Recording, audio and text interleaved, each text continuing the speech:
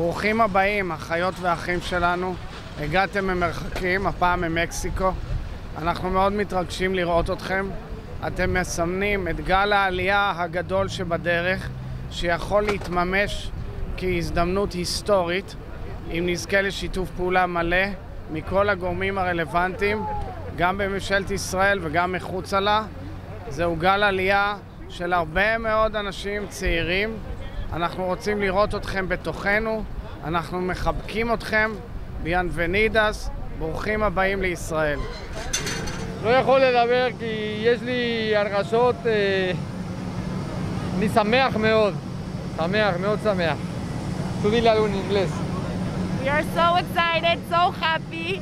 Thank you for all of these, and we are home. הנה, הנה,